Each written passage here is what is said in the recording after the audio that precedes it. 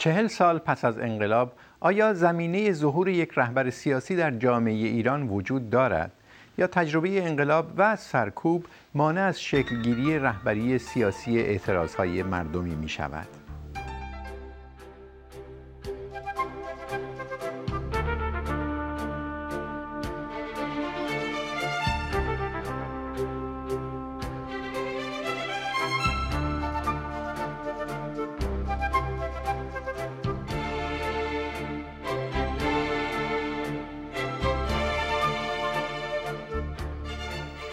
سلام.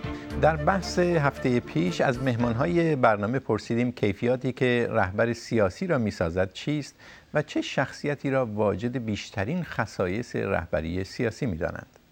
مثالهایی که مهمانهای اون برنامه زدند هیچ یک ایرانی نبود. با این حال هم موافقان و هم مخالفان آیت الله خمینی اعتقاد دارند که او یکی از تواناترین رهبران سیاسی سده بیستم بود. اما شماری از مخالفان آیت الله خمینی و نظام برجا مانده از او می‌گویند حافظه جمعی در مورد رهبری او جامعه ایران را چهل سال پس از انقلاب بسیار محتاط کرده. محتاط و گاه مزنون به رهبران سیاسی. آیا چنین است؟ اگر چنین است پیامدهای این ذهنیت چیست و چه چالشهایی پیش روی شخصیت‌های ممتاز سیاسی می‌گذارد اصولا آیا می توان گفت جامعه ایران دیگر مستعد ظهور رهبر سیاسی نیست؟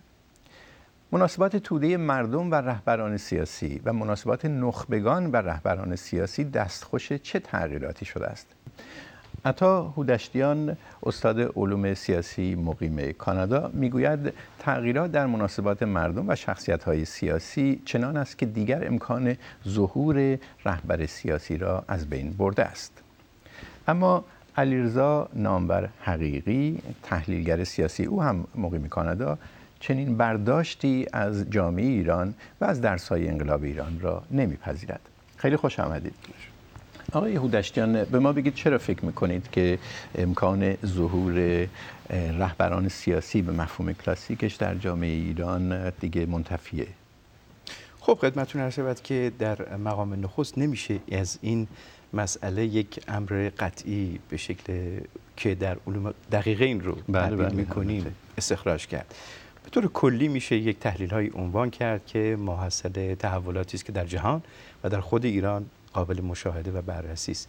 مقدم در صدد جهان باید گفت که بزرگترین پرسش ما این هستش که چگونه است در بعد از دوران آغازین قرن 21 نتوانستیم یا تاریخ نشون نداده که رهبری همانند رهبران قدر قدرت بی بدیل و بی رقیب و بدون اینکه ما حاصل انتخابات باشند ظهور پیدا کنه. مثلا پدیده به نام ماو یا کاسترو یا استالین یا حتی آقای خمینی نظیر او در طول این دوره یعنی چهل سال پنجاه سال اخیر ظهور پیدا نکرده.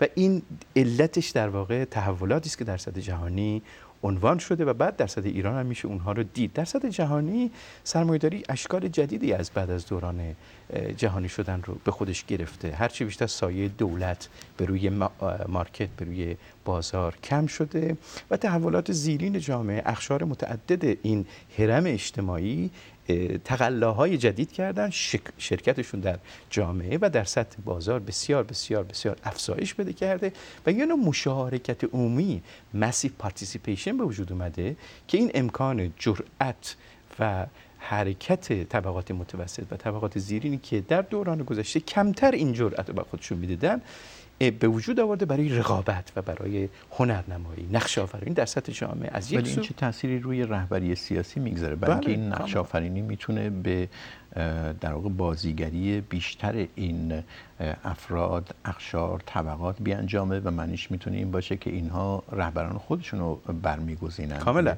به همین دلیل هستش که چون رهبران خودشون رو برمیگزینند. در برای همین ما هر چه بیشتر راهب شاهد وجود رهبران کوچک یا خرد رهبران هستیم به جای رهبران قدر قدرت که در رأس هرم قرار می گرفتن عنصر دومی که اثرگذار بوده است دنیای دیجیتالی است دیجیتالی است که دنیای دیجیتالی با وجود اینترنت امکان مشارکت همگانی رو ایجاد کرده و بعدم عنصر سوم این دنیای دیجیتالی به شکل اخص منظور شما شبکه‌های اجتماعی است که دقیقاً. آگاهی رسانی می‌کنن آگاهی رسانی بله. می‌کنن و به شکل اینترنتی انسان ها با همدیگه می‌تونن یک جنبش همگانی رو به شکل بیشتر افقی و کمتر عمودی ایجاد بکنن. و عنصر سوم هم تکانه است که در سطح فرهنگی در مخیله انسان ها به وجود اومده. فرهنگ جدید هرچه بیشتر حقیقت مطلق رو در دست یک تن که نماینده اون حقیقت باشه گرفته ازش و هرچه بیشتر حقیقت در واقع پخش شده در نزد همگان و همگان می‌خوان که شرکت بکنن و بگوین که حقیقت من هم باید به حساب بیاد. حقیقت من هم باید به حساب بیاد. بله. نتیجه این بحث این هست که در نهایت کلام خدشه به واسطه عدم ظهور همه جانبه دولت یا سایه همه جانبه دولت بر روی بازار و بر روی جامعه خدشه بر مفهوم اتوریته یا اقتدار به وجود اومده که این مفهوم اقتدار رو هرچی بیشتر از اون حالت آسمانی تاریخی میراسی یا دینی خودش گرفته و هرچی بیشتر پخشش کرده در جامعه و هر کسی می‌خواد اتوریته خودش رو به منزله بله. ظهور برسونه. اینها چون معتقد هستید روندهای کلان جهانی هستند. چرا ایران به طور خاص اونجوری که پیش از برنامه من گفتید مستعد این تغییرات و بیش از حتی جوامع اطراف ایران می‌بینید در ایران؟ کاملا. به خاطر اینکه ایران نشون داده که بیش از جوامع اطراف در خاور میانه حتی و همراه اون جوامع. به دنیای مجازی وابسته و دلبسته است و اطمینان بیشتری به دنیای مجازی داره. از یک سو از سوی دیگه جنبش های اخیر این رو نشون میدن. مثلا جنبشی که به نام جنبش سبز ازش نام بردیم. بدون از که ایدئولوژی یا راه، راهنمایی سیاسی این جنبش چیست؟ سرانش چه مقاصد سیاسی دارن؟ در حوزه جنبش شناسی social movement studies می‌تونیم به اینکه بدنه جنبش شدیداً همه جانبه است و شبکه است و به علاوه اینکه رهبران این جنبش هستن و نه یکی. مثلا رهبران امروز رو هم نگاه بکنیم که حداقل کسانی که چهره های ممتاز اپوزیسیون اپوزیسیون رژیم هستن هم همین واقعیت رو نشون میدن.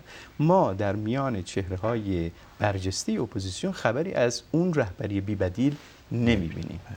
آقای حقیقی نظر شما چیه؟ چون به من گفتید که اگر چهره های ممتاز سیاسی پیدا بشن که بازیگری بکنن اینها می‌تونن به عنوان رهبر سیاسی ظهور کنن. منظورتون چی هست؟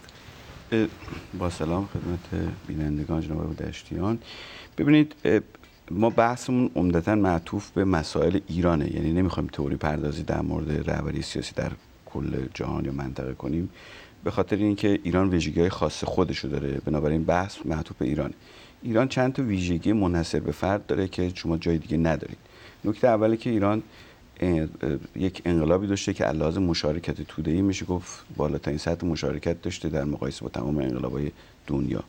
دوم اینکه این انقلاب عنصر مذهب هم تونسته برای بسیج خودش به کار بگیره.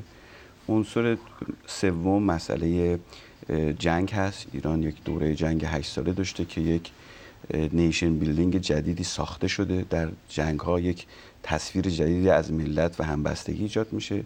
نکته چهارم ایران یک دوره اصلاحات داشته جنبش اصلاحات داشته. در مقایسه با انقلابات دیگه این اصلاحاتش نسبتا بدون خونریزی سنگین بوده.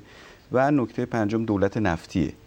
شما در دولت های نفتی که این یک ویژگی خاص میده به ساخت سیاسی ایران در دولت های نفتی شما تقریبا ما دموکراسی نداریم. اون جایی هم که نفت دارن و دموکراسی هست اول دموکراتیک بودن و بعد نفت به عنوان عنصر اقتصادی شده. بنابراین شما با یک سیستمی سر کار دارید که هم عنصر مذهب رو داره به عنوان دفاع هم عنصر امنیت رو داره به عنوان دفاع هم مسئله انقلاب مسئله جنگ همه اینا یک زره هایی داده برای چند لایه برای سیستم برای که بتونه از خودش دفاع کنه. حالا این تصویر خود ویژگی جامعه ایران. ما با یه مربع روبرو هستیم که این مربع بخشش مربوط به این هست که دولت ناکارآمده از تصویر جدید دولت از لحاظ اجتماعی تصویری است که همراه با فساد حالا چه سیستماتیک چه پس بنابراین این اولین تصویر. دولتی است که ناکارآمده دولت دولت موازی ما داریم چه در حوزه اقتصاد چه در حوزه امنیت. پس بخشش خود دولت ناکارآمده بخشش جامعه است به شدت ناراضیه. نکته سوم این است که یک تهدید بین‌المللی جدید علیه سیستم ایجاد شده که قصدش تغییر سیستم با هر هزینه ای و نکته چهارم اپوزیسیونی است که ناتوانه. به این مفهوم که اپوزیسیونی که تو ساخت قدرت چه بیرون قدرت توانایی تغییراتی که بتونه اون تغییرات سیاسی مطلوبه انجام بده. حالا لحاظ رهبری سیاسی من حرفم اینه. بله. ببینید رهبری سیاسی خوشه‌ای که یا این غیر متمرکزی که جناب آقای هودشتان فرمودن حالا جنبش سبز من معتقدم سه شاخه نبوده بیشتر خود آقای موسی بوده. این رهبری خوشه‌ای ممکنه در حوزه سنفی در حوزه محلی و در حوزه مطالبات اجتماعی یا مطالبات معطوف به یک هدف یک چیز خاص اینها می‌تونه موفق بشه. اما برای جابجایی قدرت برای یک تغییر عمده گسترده نمی‌تونه. یعنی رهبران سیاسی را ما سه دسته کنیم رهبران سیاسی ایدئولوگ رهبران سیاسی بسیجگر و رهبران سیاسی در حقیقت مدیر. در حال حاضر شرایط ایران امکان بروز رهبران مدیر و ایدئولوگ رو میده. ولی رهبر بسیجگر یک ویژگی های خاص خودش رو داره که به نظر من اون شرایط فعلا از لحاظ عینی آماده نیست یا حداقل شرایطش نیست. چرا فکر می‌کنید جامعه ایران منهای اون توصیفاتی کردید این استعداد رو استعداد رو کماکان داره. برای اینکه خیلی هم میگن خاطره انقلاب باعث شد و من تو مقدمه اشاره کردم باعث شد که مردم واقعا خیلی محتاط باشن بله. و به راحتی دنبال رهبران بله. سیاسی نیفتن. همون خاطر همین من گفتم نقش رهبران بسیجگر. نه ببینید رهبران بسیجگر با ایدولوگ فرق می‌کنه. شما می‌تونید از لحاظ تولید گفتمان تولید discourse شرح مسائل موضوعات بیان راه حلا بتونید قدرتمند باشید. ولی الزاما شما این رو ایدئولوگ مینامید. اینو یعنی... ایدئولوگ. ولی اینی که این متعلق این این دقیقاً این این این آگاهی منتقل بشه به خیابان و منتقل بشه به تغییر و جابجایی قدرت فرایند دیگه داره. همون مواردی که شما گفتید.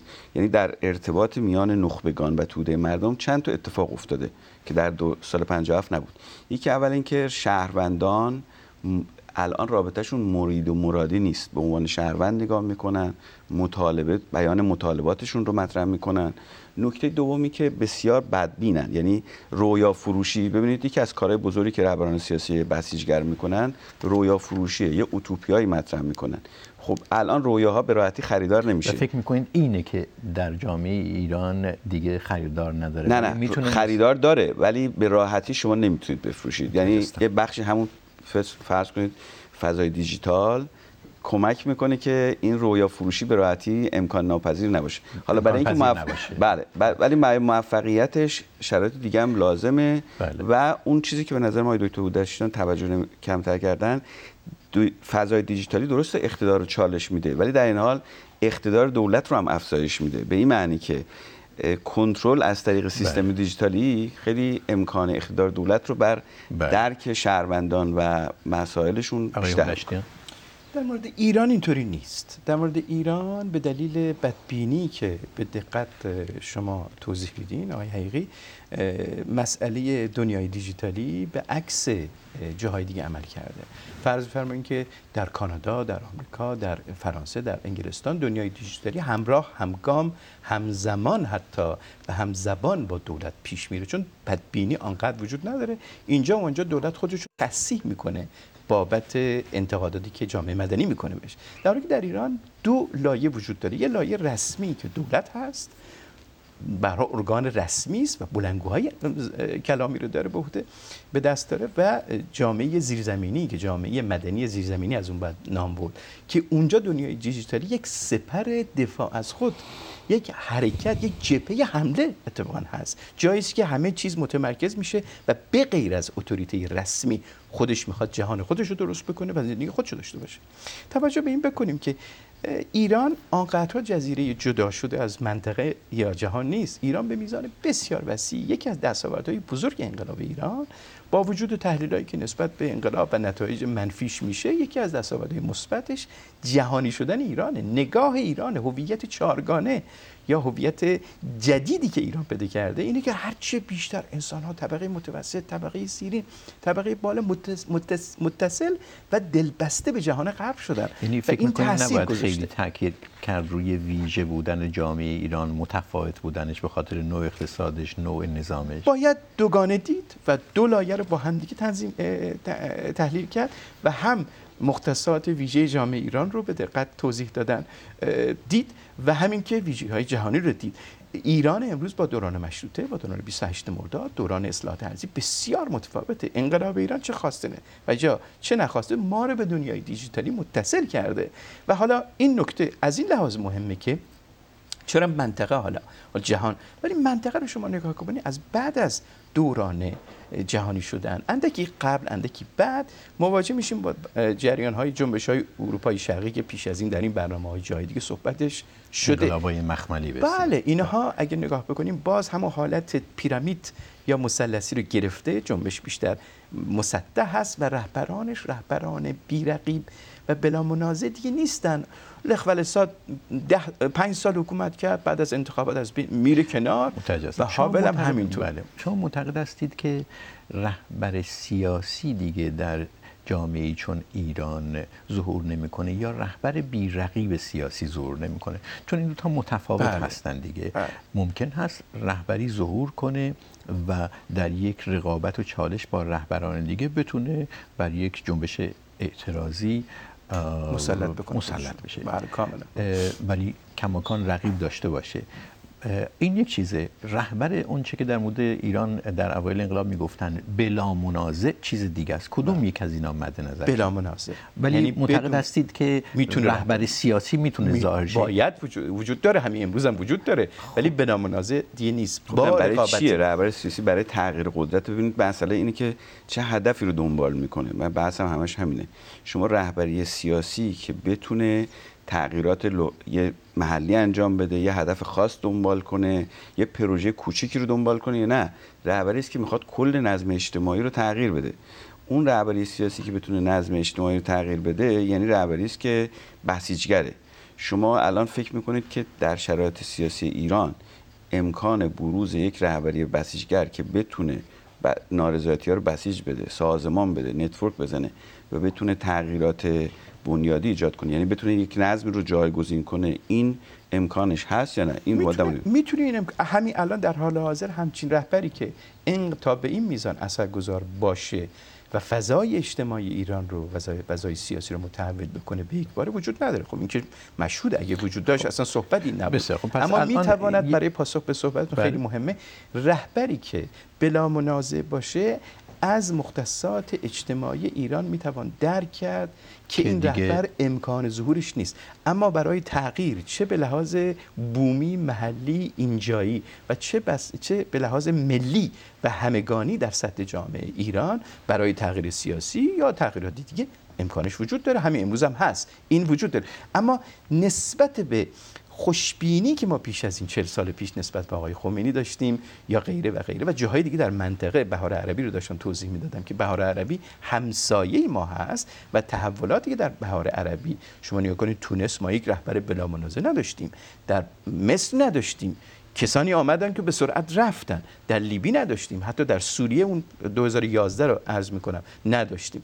این تغییرات در منطقه هم اثرگذار هستند بنابراین در مورد جامعه خب ایران اصلا, اصلا این مواردی که شما اشاره می‌کنید اکثر تحلیلگران اشتباه هم می‌کنن. ببینید در مورد تونس در مورد مصر رو من جزئیات مطالعه کردم. هم موقع دنبال می‌کردم. همه اینا بخش اصلی از بلوک قدرت بوده که حامی خیابان بوده و بنابراین موفق شده. ببینید در تونس ارتش بود که بن علی رو گفت ترسوندش و بن علی فرار فراری داد به عربستان.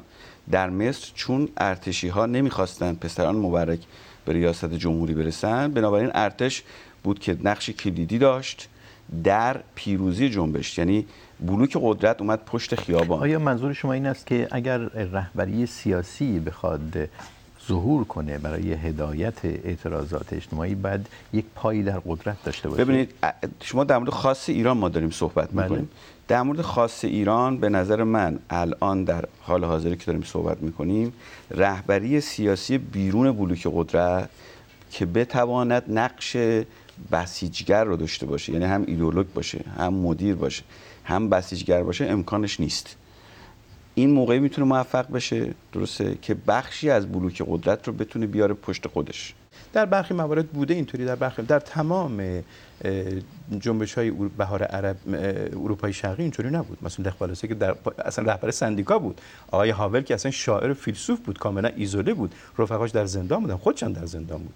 در جنبش بهار عربی آقای محمد قنیشی 20 سال در خارج کشور بود. کجا در قدرت بود؟ اما کسانی می توانند با هوشمندی بخشی از قدرت رو تحریک کنن تمایل ریزش رو به وجود بیارن. این کاملا می‌تونه به وجود بیاد. اما فرمول نیست. می‌تواند این باشد می‌تواند آن باشد. یک نکته بسیار اساسی در مورد تعریف رهبریه یک رهبر ایدئولوژیک و یک رهبری بسیج کننده وجود نداره. رهبر واقعی. که البته بلا منازعه نباید باشه و نمی‌تونه دیگه باشه. فکر می‌کنم نه. می‌تونه به وجود بیاد ولی فکر می‌کنم با وجود مشخصات امروز به وجود نخواهد آمد. این ستا رو یعنی بسیج کنندگی سازمان دهندگی سیاسی بودن برنامه سیاسی دادن و ایدئولوگ بودن رو با هم باید داشته باشه. نه اینکه اینا رهبران متفاوتن. ما در این حال که آقای هودشتیان مثلا اینه که خیلی هم میگن که کسی که بتونه یک چشماندازی رو یک چشمانداز امیدوار کننده رو به تصویر بکشه نه تنها در صحنه سیاسی در ایران و خارج ایران نمی‌بینن بلکه زمینه هاش هم به نظر نمیاد وجود داشته باشه. زمینه هاش رو مطمئن نیستم. به خاطر اینکه الان زمینه تغییر برای جامعه بحران زده ایران خیلی زیاده. زمینه تغییر. یک چیزه. زمینه رهبری سیاسی یک چیز بله دیگه است. می‌تونه حس تغییر وجود داشته باشه. ولی کاملا. ولی تب تغییر در جامعه ایران وجود داره امکانات تغییر وجود نداره. تب تغییر وجود داره به این لحاظ که همه کس می‌خوان که این وضعیت دگرگون بشه. اما به معنی اینکه این وضعیت به انقلاب دیگری بیانجامه یا یک رهبری سیاسی بیافرینه. معلوم نیست. نمی‌دونیم این رو. ولی اینکه رهبری باشد که یک پرسپکتیو یک نمایش جدید رو عرضه بکنه در صحنه سیاست امروز و آینده به نظر من امروز هنوز وجود نداره. اما می‌تونه وجود داشته باشه بله. می‌تونه به وجود بیاد. آقای حقیقی چقدر سرکوب سیاسی اینجا می‌تونه عامل موثری باشه؟ برای اینکه ما راجع به رهبری سیاسی اعتراض ها صحبت می‌کنیم در سطح ملی ولی می‌بینیم که حتی در سطح کوچیکتر در مقیاس کوچکتر مثلا رهبران سنفی در این یا اون استان ایران یا رهبران این یا اون حرکت اجتماعی اینها خونسا میشن. خونسا منظورم این است که یا رونده میشن از مملکت یا زندان میفتن و ساکت میشن. در چنین شرایطی صحبت از رهبری سیاسی در سطح ملی یا حتی زمینه ظهور اینها واقعا تا چه حد موجهه من قبل از که یه نکته بگم اون مورد تونس رو که اشاره کردن اونجا ارتش کلا نیروی سرکوبگر نبود. حتی در دومبری سعی می‌کرد بی‌طرف کنه فرق می‌کنه با مصر. یعنی مدل مصری مدل ارتش در مصر با تونس فرق می‌کنه. بنابراین اصلا اون مورد بعد تونس هم دولت نفتی نبود اصلا. حالا تج... اونا ویژگی ایران که گفتم بله. گفتم تفا... اما ببینید دقیقا جمهوری اسلامی و جناهایی که بر قدرت در دستشون است اونها چند تا نتیجه گیری کردن که چطوری جلو ورود رهبران سیاسی موفق رو بگیرن. ببینید ورود رهبر سیاسی موفق چند تا ویژگی باید داشته باشه. رهبر سیاسی موفق یعنی باید توانایی networking داشته باشه. حالا چه سرمایه فکری چه سرمایه مالی چه سرمایه اجتماعی. منظورتون از networking؟ یعنی می‌تونه شبکه سازی کنه بله. مل... یعنی توانایی ارتباط گیری بله. شبکه سازی و networking داشته. یعنی در بتونه از طریق شبکه بازی سازی کنه این, این نکته اول. بنابراین اولین red line برای افراد اینه که این فرد چقدر این توانایی رو داره. ممکنه یک کسی با سواد باشه پولدار هم باشه ولی پولش رو برای شبکه سازی خرج نکنه. بنابراین این وارد اون ردلاین اون خط قرمز نمیشه. نکته دوم که اهمیت داره چقدر آدم می‌تونه نهاد سازی کنه. نهاد به معنی یک ارتباط سازمان یافته است که می‌تونه تداوم پیدا کنه. نهاد از این بابت در ساختای نیمه اقتدارگرا خطرناکه برای اینکه اگر شما رهبر X نباشه رهبر B می‌تونه جاشو بگیره. و دوم یک جور مشارکت جمعی است در تصمیم گیری که می‌تونه حرکت رو تداوم بده. پس بنابراین اگه دقت کرده باشید مسئله حزب هم تو ایران جزو ردایناست یعنی حزب نمی‌ذارن به راحتی شکل بگیره. نکته سوم مسئله این هست که رویایی که میفروشه این رویا فروشی چقدر ارتباط داره با چند تا موضوع. بحرانی که باهاش مواجه هست فرهنگ اجتماعی یعنی مثلا توانایی آقای موسوی بخشش مربوط به اینه که بخشش تو بلوک قدرت بوده توانایی رویا فروشی می‌تونه امید با آینده داره و از همه مهمتر رویا همه می‌تونن رویاهای قشنگ ترسیم کنن. چقدر بتونه جامعه رو متقاعد کنه که این رویا برنده میشه؟ چون جامعه روی این برنده جزئیات رو میگید که به نتیجه برسید که حالا حالا. چیزی آره حالا حالا با این ویژگی ها و نکته بعدی که مهمتر هست اینه که بتونه در حقیقت اکت کنه. توانایی و شجاعت اکت داشته باشه و نتیجه گیری حالا در مجموع حالا بله. سیستم اتفاقا میره کان یعنی ضد این پروژه ها رو اجرا می‌کنه. یعنی به این نتیجه رسیدن که اگر نارضایتی باشه مهم نیست. مهم این هست که آلترناتیوی نباشه که از این نارضایتی بتونه استفاده کنه. بنابراین هر کسی که توانایی حالا جواب سوال من دارید یعنی در واقع میگید که هر کسی که توانایی دستگاه حاکم حس کنه توانایی این حوزه ها رو داره میره توی خط قرمز. و سرکوب میشه. حالا میشه. حالا می‌تونه روش های خونسازی هم متفاوته یعنی بله. یعنی بستگی داره که بله. چه موقعیتی داشته باشه خدمت رو شود که رژیم در یک مورد دست بالا و برنده رو داشته اونم در سرکوب همه جانبه اپوزیسیون در سالهای نخستین به اصطلاح ثبات خودش بوده که این ثبات همواره بحران آفرین و بحران زا بوده و در مقام نخست اینکه این حرکت رو به شکل پیگیر ادامه داده. یعنی هر کسی که احتمالا ناله متفاوت صدایی متفاوت از رژیم رو بگه در بغیر از خودی ها در خارج از حلقه حکومتگران در واقع باید از بین بره. به این لحاظ من فکر کنم که در داخل ایران ایجاد یک رهبری که بتواند بسیج کننده باشه نتورک درست بکنه نهاد به وجود بیاره و ایدئولوژی یا راهنمایی رو به عنوان برنامه تغییر ایجاد بکنه بسیار بسیار مشکله. من فکر کنم ایجاد یه همچین چیزی در خارج کشور امکانش احتمالا بیشتره. اما باز قاطی نشه مسائل. این که در خارج کشور باشه به این معنی نیست که ارتباطی با داخل نداشته باشه یا از قدرت های خارج بهره بگیره یا حمایت های به از قدرت های غربی بگیره. لزوما به این معنی نیست. بسیاری از جنبش ها در کوبا اینطوری بوده در خود انقلاب روسیه. لنین اگه اون کافه معروفش در سوئیس هنوز هست که اونجا جمع شدن کمیته بخش از کمیته مرکزی بوده.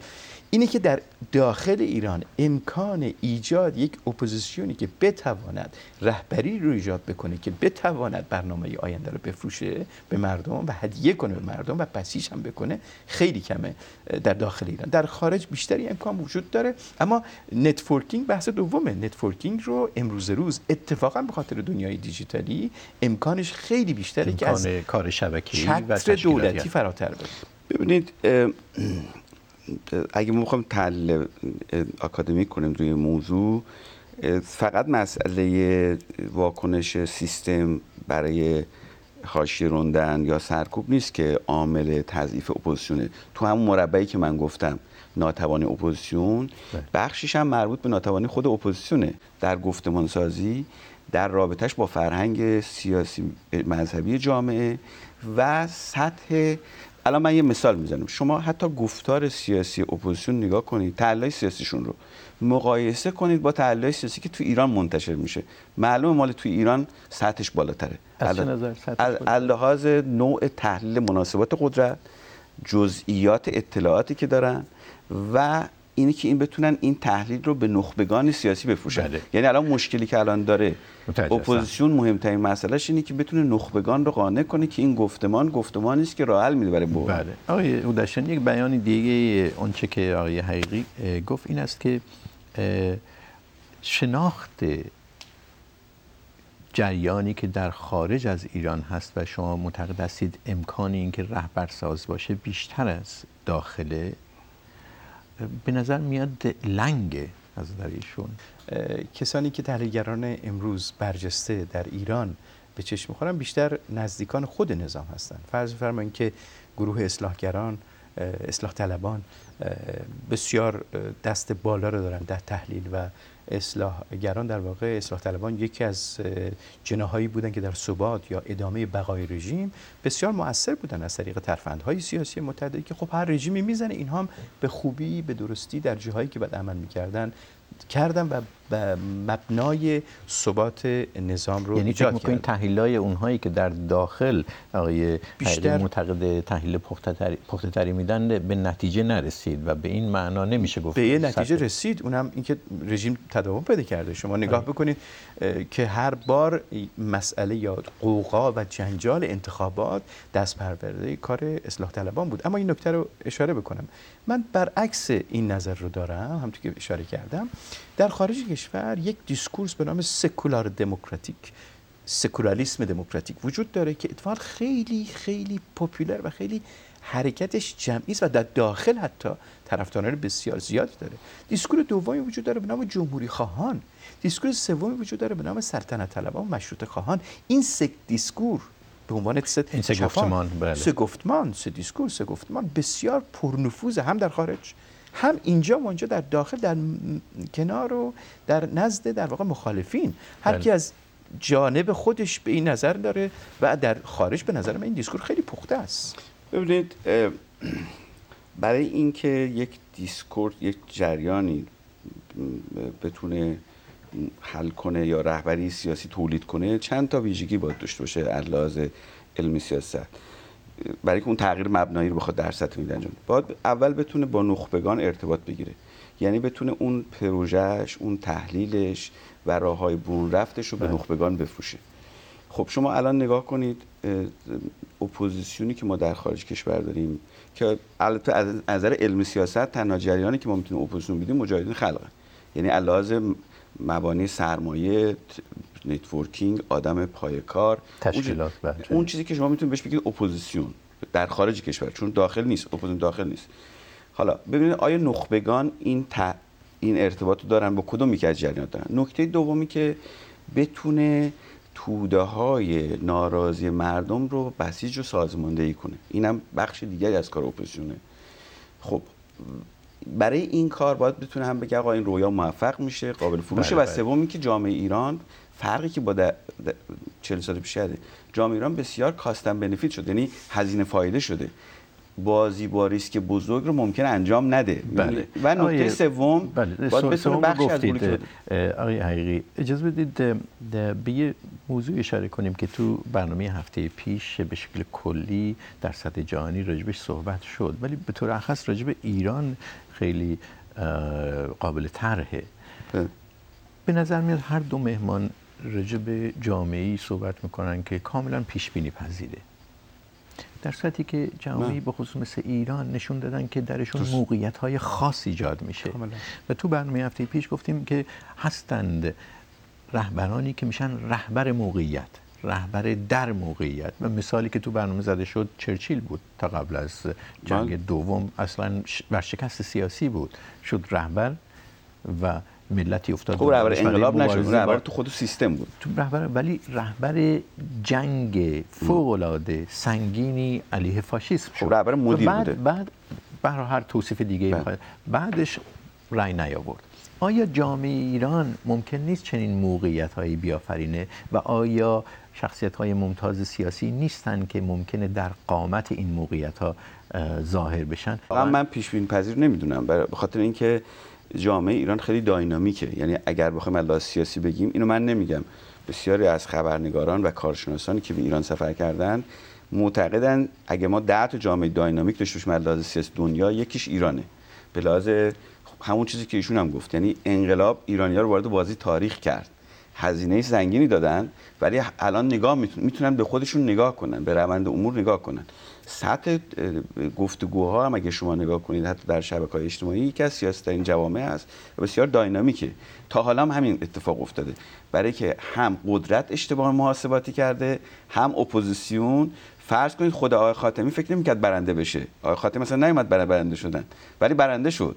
خب از این بنابراین اگر از این زاویه نگاه کنیم شما میشه نتیجه گرفت که امکان رهبری سیاسی واحد و مقتدر برای هدایت اعتراض هایی که شرایط ایران هم به این شکل کنونی نخواهد بود. دیگه تحریم ها می‌تونه جدی تر بشه چنین چیزی ممکن نیست. ببینید اگر اون بی... یه چیزایی هست تو ایرانی ها مهمه که اونا باید بخرن. ببینید مسئله که تو ایران هست الان تصویر اینی که این چقدر می‌تونه ایجاد امنیت کنه و این چقدر وابسته به خارجه این تو اون ناسیونالیسم ایرانی شما نباید نادیده بگیرید. یه نکته نکته دومی که چقدر نزدیک به فرهنگی که اونا حس می‌کنن. یعنی خیلی خارج از بله. عرف باشه. البته سر مسئله امنیت که بحث بسیار زیاد همواره رژیم مسئله امنیت رو عنوان کرده. به این عنوان که به خاطر امنیت از رژیم باید دفاع کرد. این خیلی نه خب جامعه اونا رو بحث همیشه تو جامعه هم اثر. همه جو دنیا اینجوریه. یعنی مسئله حراس و مسئله امنیت یه مسئله که همه نظام استفاده. من فکر کنم مسئله امنیت رو مثل مسئله استقلال همراه با مسئله آزادی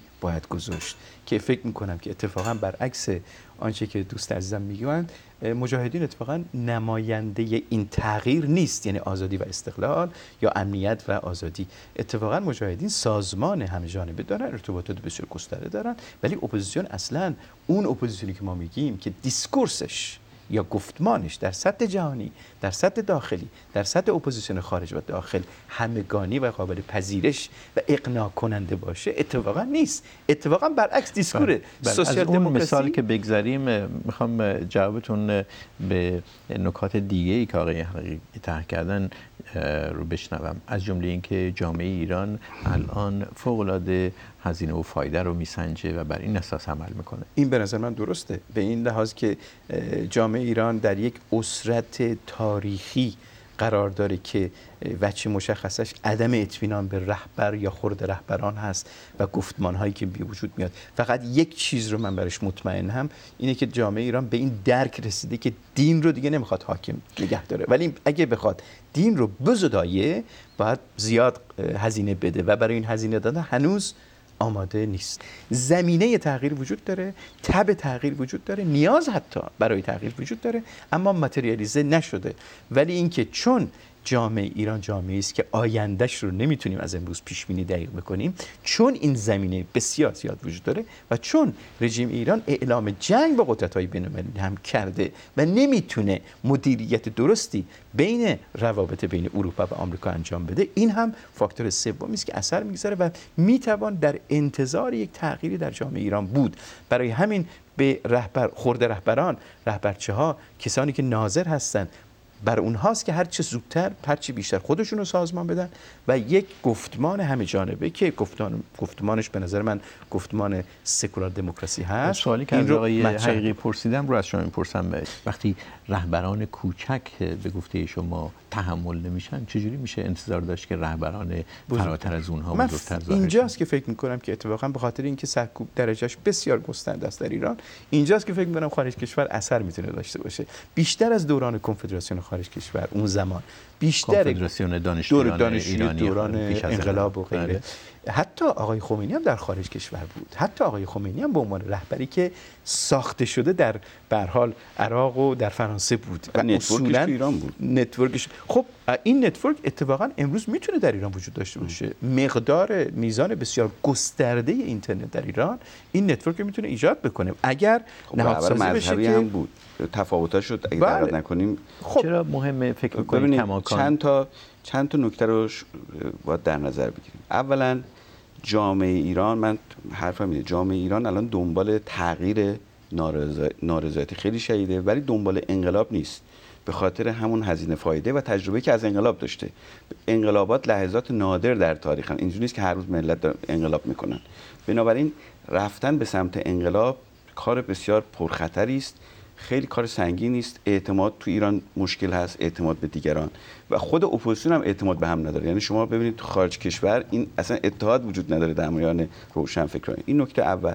نکته دوم این هست که در مسیر این این ماجرا جامعه جامعه ایران به دنبال این هست که یعنی به خاطر اینکه قدرت الان ناکارآمده و نیاز به توسعه یه نیاز واقعی جامعه ایرانه توسعه یعنی حتی بلوک قدرت هم می‌فهمه بله. یعنی اینکه دولت باید یه دولت مقتدری بشه نیاز ایران نیاز به توسعه داره. یعنی اقتصادش فشل شده نیاز به تنظیم رابطه با قدرت های بزرگ جهانی داره چیزی که ایشون اشاره کرد نتونست حل کنه. و از طرفی سیستم پیر شده. یعنی جمهوری اسلامی با یک افراد پیری سر کار داره که لحاظ فکری فاصله داره با همون ارزشایی که تو جامعه ایران تغییر کرده. یعنی جامعه ایران پوست انداخته ارزش تغییر کرده. حالا باز هم منتظرم نتیجه حالا رو نتیجه اینجوریه. بنابراین به نظر من یک گرایش از توی بلوک قدرت که دنبال توسعه است دنبال مدیریت علمیه با یک گرایشی که تو جامعه اون هم این نیاز داره ممکن اینا به هم نزدیک بشن. ولی این مسیر انقلاب نیست. مسیر دیالوگ و یک این... مسیر این یه نکته. بله این نه اجازه بده همین نکته رو نیاز دومش هم می‌خواد بگم که من نیاز دومشم این مسیری که شما توصیف می‌کنید آیا منظورتون اینه که رهبری سیاسی اگر ظهور کنه باز هم رهبری سیاسی در داخل کشور به این شکل خواهد بود. یعنی پایی در قدرت. ببینید مثال خیلی سادهش که جلو چشم آقای خاتمی بود دیگه. فکر می‌کنید اینه سناریوی محتمل؟ ببینید با توجه به ساخت قدرت ایران شما هیچ کس نمی‌تونه جز که پروژه انقلاب داشته باشه. من حرفم اینه رهبری انقلابی به معنی که بخواد کل نظم عوض کنه امکان موفقیت به این معنی که بتونه بس بله. نه مطلوبه نه موفق یعنی سازمان بسیجش نداره نمی‌تونه با نخبگان ارتباط کنه و جامعه چون می‌خواد ببینید چون مسئله اصلی ایران توسعه است مبارزه با فساده و مدیریت علمیه در این مسیر و تنظیم رابطه با قدرت‌های بزرگ. شما بخشی از گفتید بزرگ... شکل خواهد گرفت. بله اون باعثی بخشی از جامعه بله بله بله. و نخبگان با هم متحد بشن چنین سناریویی از نظر ایشون می‌تونه بله. به رهبری سیاسی محتمل بیانجامه نه و, و نه اون چیزی که شما توصیف می‌کنید در خارج از کشور. من اولا مطمئن نیستم که نظام فعلی در ایران مسئلهش توسعه باشه.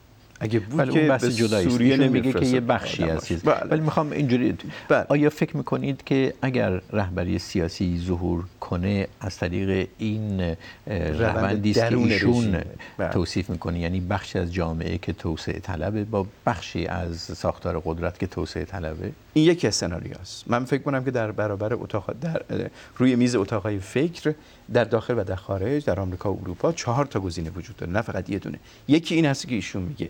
سناریو دیگه این هستش که احتمال اینکه اگر رژیم رژیم قبول نکنه که در درونش شکاف ایجاد بشه و کنار بکشه و پیران بروند و جوانان بیاین و اصلاح طلبان discourse جدیدی رو عرضه بکنن آلترناتیو دیگه یکیش مجاهدینه. سناریو دیگه کودتایی است که در درون ایران می‌تونه به وجود بیاد یعنی خود پاسداران با یک دیسکور جدید احتمالاً همراه و پشت با پشتیبانی اصلاح طلبان بیان به صحنه. یک سناریوی سناریوی سوم و چهارم مربوط میشه به اینکه سلطنت طلبان آقای رضا پهلوی احتمالاً یکی از آلترناتیوها بشه که اینجا و آنجا اروپا یا آمریکا پشتیبانش هم قرار بگیره.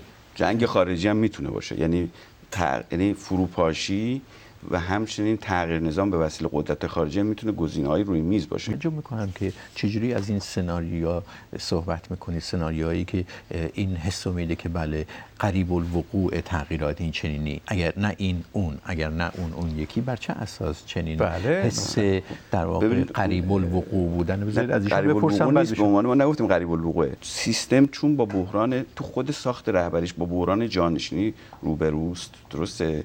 بخشی از این پوست انداختن ها با مشکلات مواجه است. بخاطر این بحران جانشینی. این یه نکته. دوم جانشینی آیت الله خامنه‌ای بله, بله, بله. ولی قریب الوقوع بودن سناریوهایی که ایشون گفتن یا منم سناریو محتمل سیاسی حالا عملیات کنش بیه این بستگی داره به تحول رابطه داینامیک جامعه مدنی و قدرت.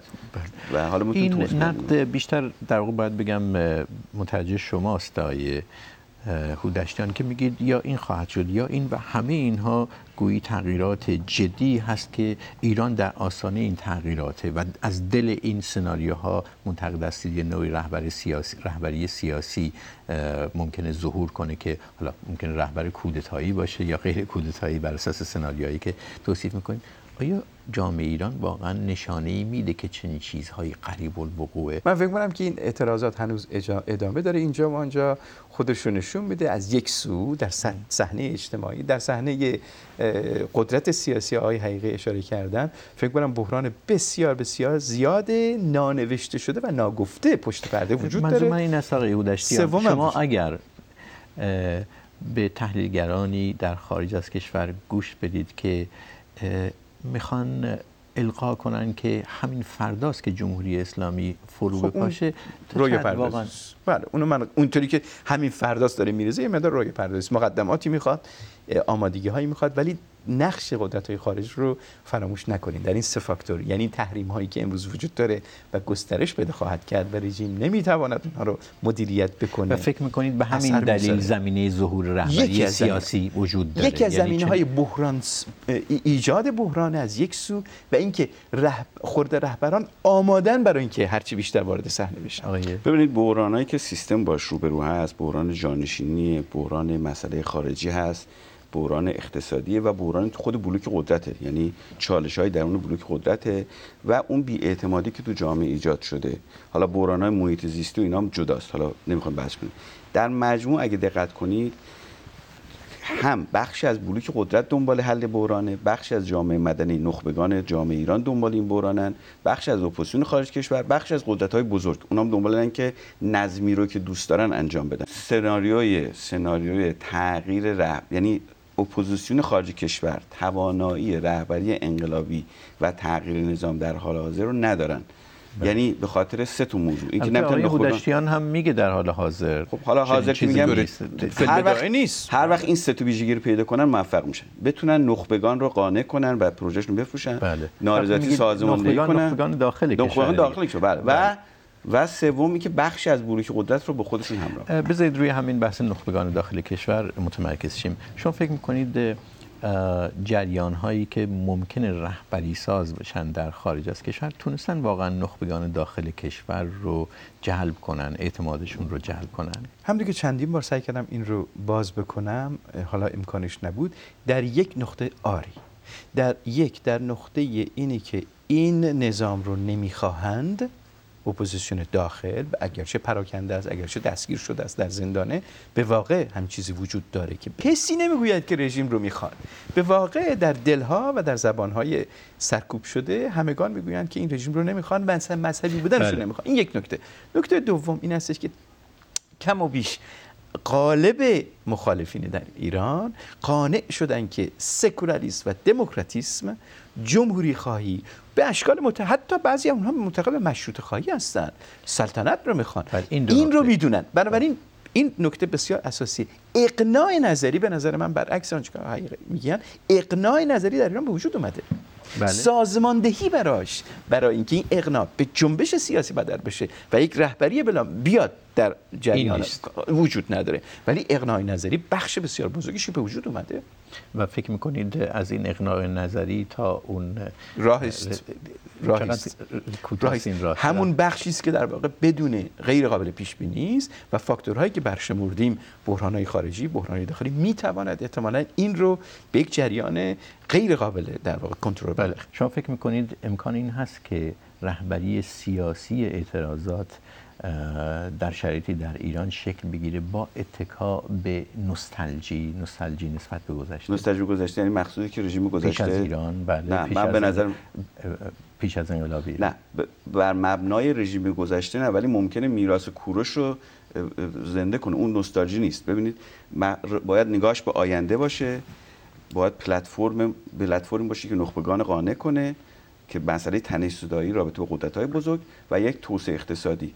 این نیاز به این که نخبگان اقتصادی ایران که اتفاقا ایشون دقت نکردن اطلاعات نخبگان سیاسی و اقتصادی ایران از مسائل ایران اگه شما بخونید خیلی بیشتر از نخبه. و این این می‌تونه امکان بروز داره. اون وقت هم بخش از بلوک قدرت میاره پشت سرش هم بخش از جامعه. از شما همون سوال رو می‌خوام بله. بپرسم. آقای هودشتیان فکر می‌کنید نوستالژی بتونه یک پلتفرمی باشه برای ظهور رهبری سیاسی حالا در شکل یک فرد یا یک جریان؟ بخشا بله.